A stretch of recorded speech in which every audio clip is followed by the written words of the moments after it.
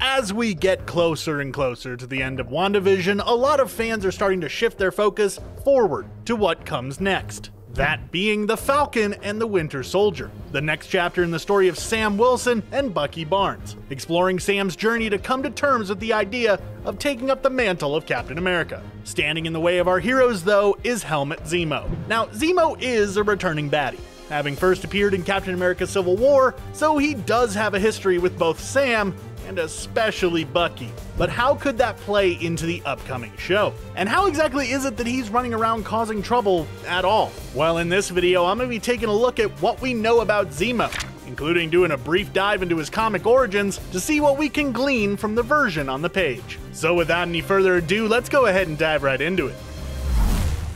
Okay, so let's start this video off with what we know about Zemo within the MCU as things stand as of the recording of this voiceover at least seems to be the most logical place to start. If you are an MCU diehard, you'll probably know most of this stuff already, but just hang tight, I've got some new stuff for you soon.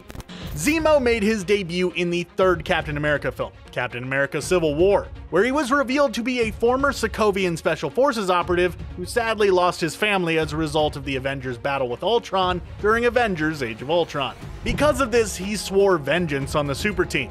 However, because the Avengers were you know, superheroes, he figured he couldn't take them on directly, probably rightly so. Instead, he planned on destroying them from the inside out, using Bucky Barnes specifically to do so. And he kind of succeeded, as he managed to play Captain America and Iron Man against each other. However, in the process, he was captured by T'Challa, who turned him over to the Joint Counterterrorist Center, a global counterterrorism organization affiliated with the CIA and that was the last place that we saw Zemo. However, it would seem that he's now on the loose once again, as the trailers for Falcon and the Winter Soldier show him causing trouble for Sam Wilson and Bucky Barnes, and rocking a pretty swanky mask. Now, the comic version of Zemo is a tad bit different from the one we got on the screen. Baron Helmut Zemo first appeared in Captain America number 168 back in 1973, where he very briefly went under the alias The Phoenix. This version of Zemo was actually German and not Sokovian, and was a major member of Hydra, which of course put him in direct conflict with Cap. In fact, for quite a while on the page, he was actually the leader of the evil organization.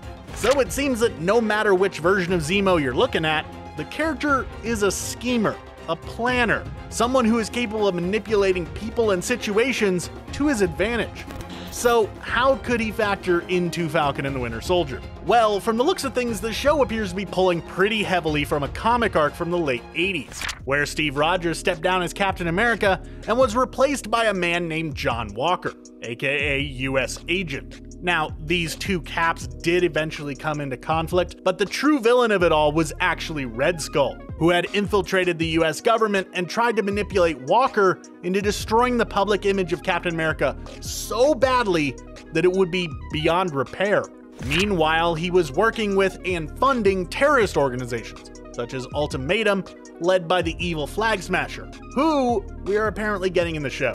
So what if Zemo is basically going to be filling in the role that Red Skull played in that original arc, being the one pulling the strings in the background and instigating the conflict between the government-sanctioned Captain America replacement and Sam Wilson? as well as whatever Flag Smasher's doing. It would definitely fit his MO. But of course, there is still the question of how he escaped JCTC custody. And I think I have a solution for that. What if Zemo has been working with the CIA for a while now? The spy agency has, historically, turned enemies into valuable assets. And with someone as cunning as Zemo, I could see them attempting just that. So maybe he's had a certain amount of freedom for a while, and now he's using the resources he's gained working within the CIA to continue his quest for vengeance. It's a possibility. But either way, Helmut Zemo is sure to be a thorn in the side of both Sam Wilson and Bucky Barnes when he returns to the screen in Falcon and the Winter Soldier. And I, for one, cannot wait to see what the show has in store for us. Disney Plus has so far crushed it when it comes to their original programming. So I'm pretty hyped to say the least.